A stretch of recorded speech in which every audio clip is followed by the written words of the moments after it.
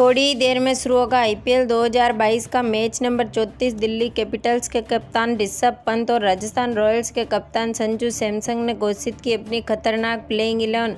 दोनों टीमों में किए कई बड़े बदलाव। बदलावों के बाद बनेगी ये टीम सबसे मज़बूत। नमस्कार दोस्तों, स्वागत है एक बार फिर हमारे चैनल देव क्रिकेट में।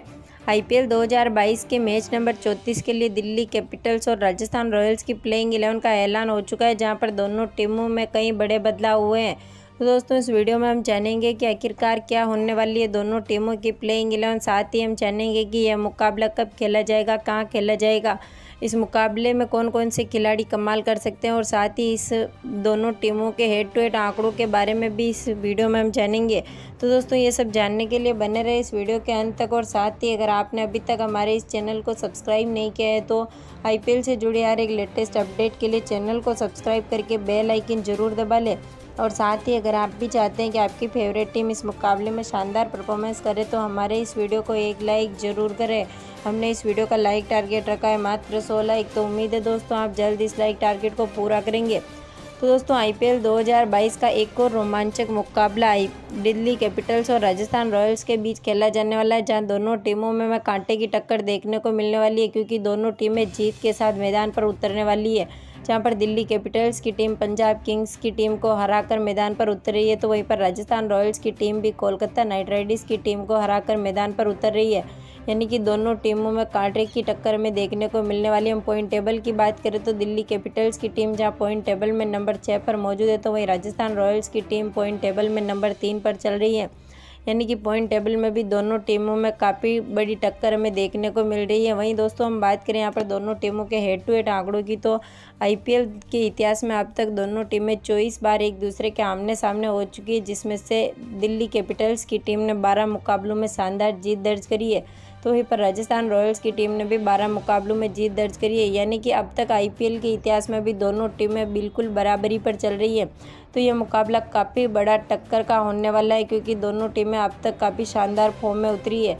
फिर दोस्तों, इस मुकाबले की बात करें तो यह मुकाबला मुंबई के पुणे स्टेडियम में खेला जाना था पहले, लेकिन अब इस मुकाबले को क्वारंटाइन खिलाड़ियों की वजह से वानखेड़े स्टेडियम में शिफ्ट कर दिया गया है। जिसकी वजह से अब यह मुकाबला मुंबई के वानखेड़े स्टेडियम में खेला जाएगा। इस मुकाबले की शुरुआत भारतीय समयानुसार शाम को सात बजकर तीस मिनट पर शुरू होने वाली है। साथ ही इस मुकाबले का लाइव प्रसारण आप टेलीविज़न में स्टार स्पोर्ट, मोबाइल में डिजनी प्लस हॉट स्टार पर देख पाएँगे। वहीं दोस्तों, हम बात करें उन खिलाड़ियों की जो कि इस मुकाबले में कमाल कर सकते हैं। तो राजस्थान रॉयल्स की टीम की तरफ़ से जोश बटलर, देवदत्त पार्टिकल ने अब तक टीम के लिए कमाल की बल्लेबाजी करके दिखाई है। तो वहीं पर टीम के कप्तान संजू सैमसंग भी अब तक अच्छी फॉर्म में दिखे हैं।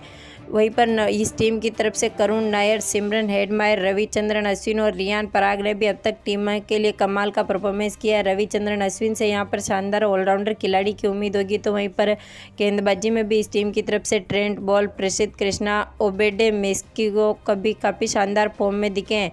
तो वहीं पर दिल्ली कैपिटल्स की टीम की हम बात करें तो इस टीम की तरफ़ से भी Prithvi Shaw, David Warner Rishabh Pant, Rovman Powell, Lalit Yadav, Sarfaraz Khan और शार्दुल ठाकुर से काफ़ी शानदार बल्लेबाजी करने की उम्मीद रहेगी। तो वहीं पर इस टीम की तरफ़ से गेंदबाजी में भी खलील अहमद, कुलदीप यादव, मुस्ताफिजुर रहमान से यहाँ पर शानदार परफॉर्मेंस की उम्मीद रहेगी कि वह टीम के लिए अच्छी खासी गेंदबाजी करके दिखाएँगे वही दोस्तों, हम बात करें यहाँ पर दोनों टीमों की प्लेइंग इलेवंथ की तो राजस्थान रॉयल्स की टीम की तरफ़ से ओपनिंग करेंगे एक बार फिर जोस बटलर के साथ देवदत्त पाटिकल तो इस टीम की तरफ़ से नंबर तीन पर उतरेंगे टीम के कप्तान संजू सैमसंग। वहीं नंबर चार पर इस टीम की तरफ़ से सिमरन हेडमायर में खेलते हुए दिखेंगे।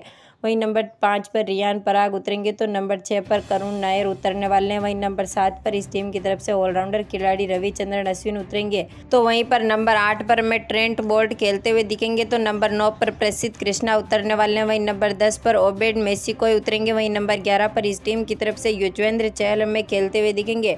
वहीं दूसरी तरफ़ हम दिल्ली कैपिटल्स की टीम की बात करें तो इस टीम की ओपनिंग करेंगे एक बार फिर पृथ्वी शो के साथ। डेविड वार्नर जो अब तक कमाल की बल्लेबाजी करते आए हैं और टीम को अच्छी खासी शुरुआत दी है। वहीं नंबर तीन पर टीम के कप्तान ऋषभ पंत उतरेंगे तो नंबर चार पर ललित यादव खेलते हुए दिखेंगे। वहीं नंबर पाँच पर सरफराज खान तो नंबर छः पर रोमैन पवल उतरेंगे। नंबर सात पर शार्दुल ठाकुर खेलते हुए दिखेंगे तो नंबर आठ पर अक्षर पटेल तो नंबर नौ पर कुलदीप यादव। वहीं नंबर दस पर मुस्ताफिजुर रहमान उतरेंगे तो नंबर ग्यारह पर इस टीम की तरफ़ से खलील अहमद में खेलते हुए दिखेंगे। तो दोस्तों, यहाँ पर हम दोनों टीमों की प्रेडिक्शन करें तो यहाँ पर दिल्ली कैपिटल्स की टीम काफ़ी शानदार फॉर्म में दिखी है। वहीं राजस्थान रॉयल्स की टीम भी अब तक अच्छी फॉर्म में दिखी है। लेकिन यहाँ पर राजस्थान रॉयल्स की टीम का पलड़ा आईपीएल 2022 में भारी होता हुआ दिख रहा है। तो यहाँ पर उम्मीद करेंगे कि राजस्थान रॉयल्स की टीम इस मुकाबले को जीत सकती है। तो दोस्तों, आपके हिसाब से कौन सी टीम इस मुकाबले को जीत सकती है? आप हमें अपनी राय कॉमेंट करके ज़रूर बताएँ। साथ ही साथ वीडियो को लाइक और शेयर करना ना भूलें। धन्यवाद दोस्तों, वीडियो के अंत तक बने रहने के लिए।